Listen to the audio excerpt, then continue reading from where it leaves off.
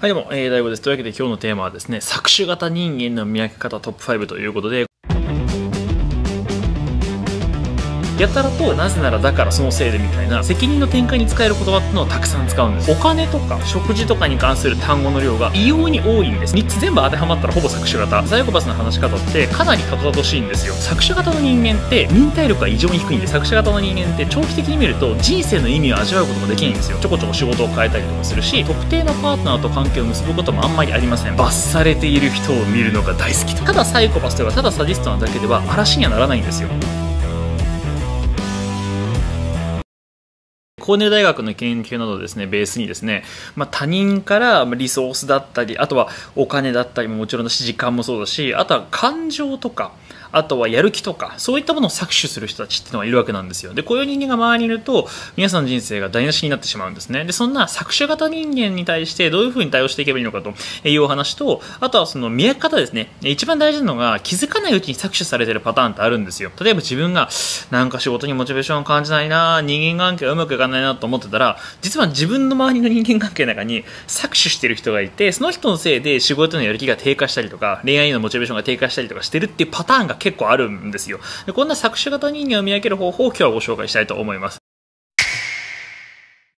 えー、それではですね、第5位。第5位はこちらです。だからが口癖ですね。はい。えー、これ一応ですね、コーネル大学の研究で、刑務所でですね、あの、殺人犯に性格テストをやって、で、サイコパス系の殺人犯、そうじゃない人っていうのを分けて、その特徴の違いっていうのをですね、調べたんですよ。まあ、殺人犯イコール全員サイコパスに見えますが、科学的にはそうじゃない殺人犯っていうのもいるわけなんですね。で、詳しくですね、その人がどういう行動とか生活を普段してるのかってことを調べたところですね、やっぱりこのサイコパスって他人を利用しても何とも思わないので、搾取型人間になるんですよ、基本的には。でこの作者型人間の人たちっていうのがどういう特徴を持ってるかってことをこの高根大学の研究では調べたわけなんですねでこの時にまず1つ目の特徴として判明したのが、まあ、これはまさに第5位なぜならだから、そのせいで、みたいな風に、責任の所在を表す、あるいはこう、理由を表す、えそういうですね、単語とか、そういうこう、接続詞っていうのがやたらと多かったんですよ。でこれなぜかっていうと、この作詞型人間っていうのは、自分が搾取してると分かってるんです。分かってるんだけれども、でもお前搾取してるだろって言われちゃうと自分が損するっていうこともやっぱり分かってるんですよ。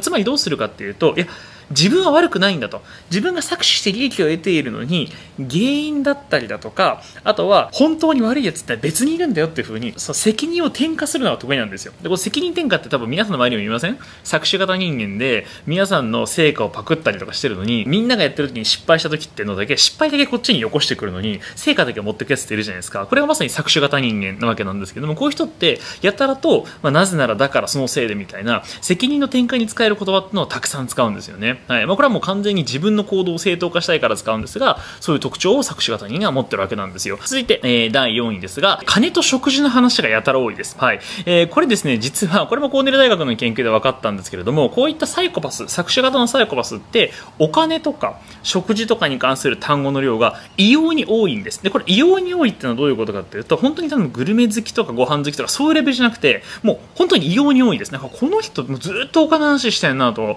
この人ずっっとご飯ね、飯の話してんなとか、そういった、まあ、お金とか、その食事とか、あとは性欲ですね。性の話。えこういったものの量が異常に多いんですね。で、これはなんでかっていうと、えサイコパスが実は根源的な欲求に非常に正直だからだというふうにですね、コーネル大学の研究では言われているんですよ。例えば、ビジネスの場でね、お金の話ができないのってのは、これはもうビジネスマン失格なわけですよ。お金を稼ぐのがビジネスの目的なんだ当たり前なんですけど。でも、そういう時はするんだけど、そうじゃない時も異様にお金の話にする。全然関係ない時、文脈もないのに急にお金の話したりとか、もうあとはもうずっと食事の話をする。ビジネスとかやってる時にもかかわらず食事の話するとか、みたいな風に、完全に場にそぐわない形で、そればっかり言っちゃうみたいな、そうだ抑えられてないな、この人って分かるレベルの異様に、その単語の量が多いという時には、ちょっとその搾取型のサイコパスの可能性がある、えー、わけなんですね。はい。なかなか面白いですよね。はい。で、一応このコーネル大学の研究は、この5位から3位までがコーネル大学の研究なんですが、まあ、1個当てはまったら速攻搾取型というわけではないんですけど、この3つ全部当てはまったらほぼ搾取型、えー、と言ってもいいんじゃないかなとというところで、じゃ第3位なんですが、話し方がたどたどしくなります。はい。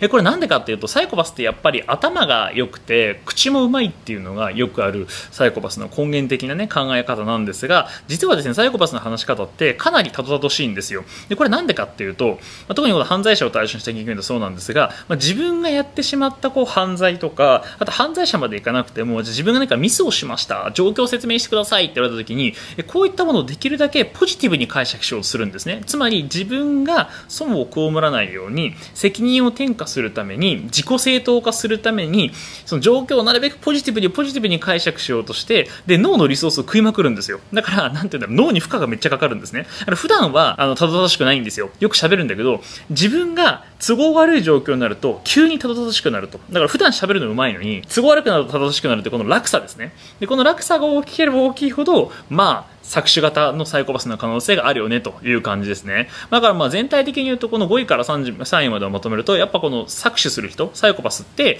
えー、罪悪感がなくて自分の願望を隠さないっていうそういう特徴があるわけなんですよ。だからこのね、言葉遣いだけでもだいぶ分かりますよというお話でした。はい。では続いて、えー、第2位なんですが、第2位、忍耐力が足りないというもんなんですね。あの、サイコパスとかって頭がいいってイメージがね、ある方もいらっしゃると思いますし、実際頭いいんだけれども、あの、実は忍耐力だけは足りないんですよ。これ北京師範大学の研究なんですけど、サイコパスとナルシストの特徴を調べた、そんな研究ですね。結果何が分かったかっていうと、作者型の人間って、実はこのナルシストとかサイコパスですね。こういう人たちって、忍耐力が異常に低いんです。我慢できないし、あとは同じことを長く続ける。だから結果が出るまで耐えるみたいなこともできないんですよ。だから目の前の欲求に正直だし、手軽にお金を手に入れたりとか、成果を手に入れる方法をします。要するに不正とかズルとか詐欺とか、そういうことをしてしまうんですよ。これは作者型の人間です。でさらにこれ面白いのが、プラスアルファこういう作者型の人間って長期的に見ると人生の意味を味わうことができないんですよ。自分の人生が何のためにあるのかとか、そういうですね、深い意味を感じることができないから、人生の満足度はだだされするってね、はい、まあ、ざまあ見ろって感じなんですが、ただ、これポイントがですね、サイコパスとかそういう作詞型の人間が不幸になったとしても、その人たちに搾取されてる皆さんが幸せになるわけではないので、自分の敵が不幸になったとしても、皆さんが幸せになるのとは別なんで、だからこれはまあ別にあんまり喜べないんですけどね、結局搾取はしてくるので、はい。実際にですね、こういった搾取型の人たちっていうのは、一つの仕事にコミットすることがほとんどないし、ちょこちょこ仕事を変えたりとかするし、あとは特定のパートナーと関係を結ぶこともあんまりありません。だからよくグレビアアイドルのね、えー、若い子とかが、なんかもうほとんど詐欺師みたいな感じの、なんかこうね、西麻布とか六本木あたりで何の仕事して稼いでるのかわからないような、なんかおっさんと、なんかね、付き合ったりとか結婚とかして海外行ったりとかするパターンってよくあるんですよ。そう。でこれ、これ業界あるあるみたいな感じですけど、でもしばらくすると別れたりとか、ひどい目に遭うっていうことがあるんですけど、これ実はこの搾取型人間の特徴ですね。他人から詐欺とか、詐欺まがいのこととか悪いことをしてお金を搾取する人って、結局その一つのパートナーにコミットしないから、一瞬お金を持ってるように見えるし、すごいね、高いものとかも買ってくれるかもしれないけど、結果的にはですね、捨てられるわけなんですよね。特定パートナーに定まらないから。で、ニーズの満足度が下がっちゃうということが起きるわけなんですね。まあそういう点で、あらゆる点で忍耐力が足りない、わけなんですね。やっぱ人生の意味を感じるっていうのはすごいですね、大きなメリットがいっぱいあるんですよ。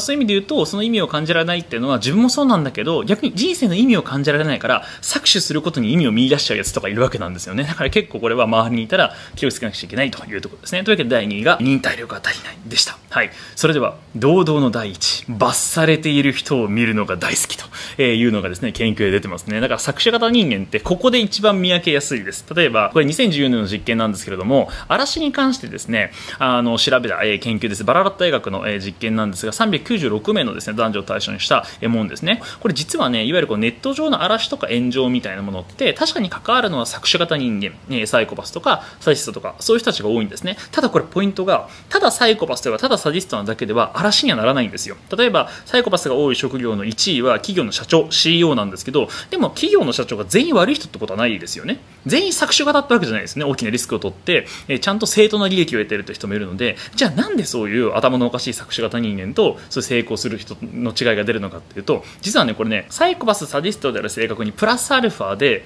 他人の怒りとか悲しみとかが加わると。で、その作詞型人間にその2つが揃うとどうなるかっていうと、えー、嵐行為が発生したりとか嫌がらせが発生したりとか搾取が始まる、えー、わけなんですよ。つまりですね、普通の人間っていうのは他人を幸せにしたりとか、他人から褒められるとか、感謝されることによってやる気が出るんです。ところがこういう作詞型人間というのは、誰かが怒ってるとか、誰かが罰されているとか、誰かが恥ずかしめられてるとか、あるいはもっと具体的に言うと自分が誰かを恥ずかしめている。こういう状況になるとやる気が湧くんですね。だから、自分と関係ない第三者か自分と関係ある第三者の怒りとか悲しみとかっていうのが餌になってでもっと搾取をしたいっていう風になっちゃうんですよ。これがだからまさに感情の搾取ですね。昔ほら2ちゃんとかでもありましたよね。反撃は嵐の需要にして栄養であり最も喜ぶことですと、うん、だから嵐は無視が一番ですスルーが一番ですみたいななんか注意書きとかがね昔ありましたけどまさにそれなんですよね。他人が罰されているつまり他人が悲しんだりとか怒ったりとかしてるのは好きなんですよ。罰してる側は怒ってて罰されてる側は悲しんでるわけだからそういう風に全然第三者なのに、まあ、人が罰されてるのを見るのが好きか、はい、っていう人いますけれどもゴシップ好きとか、まあ、そういう人たちっていうのは実は、えー、作者型人間の大きな特徴になってきますのでだからもし皆さんの周りにゴシップ好きな人がいたりとかなんかそういう人がいたらちょっとその人作者型人間の可能性あるので一旦距離を置いてみるといいかもしれないですね。人生が変わる可能性があります。はい、えー、ぜひですね試してみてください。